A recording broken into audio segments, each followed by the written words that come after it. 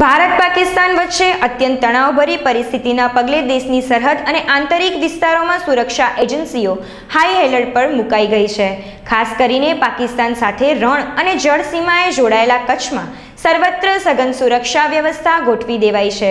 તે વચ્ચે આજે બપોરે અઢી ત્રણ વાગ્યાના આરસામાં ગાંધીધામ રેલવે સ્ટેશન અને કંડલા તરફના રેલવે ટ્રેક આસપાસ એક ડ્રોન પ્લેન ઉડતું જોવા મળતા રેલવે પોલીસમાં ભારે દોડધામ મચી ગઈ હતી.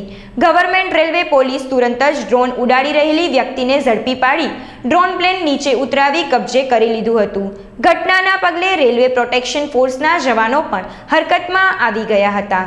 જો કે પોલીસની તપાસમાં સ્પષ્ટ થયું છે કે રેલવે ટ્રેકનો સર્વે કરવામાં માટે રેલવેએ આપેલા કોન્ટ્રાક્ટ મુજબ ખાનગી એજન્સીના માણસોએ આ ડ્રોન પ્લેન ઉડાડ્યું હતું.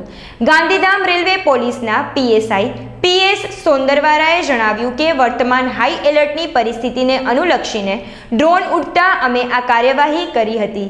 પ્રાથમિક તપાસમાં તેમાં કશું શંકાસ્પદ જણાયું નથી. હાલ આરપીએફ દ્વારા પૂછપરછ ચાલી રહી છે.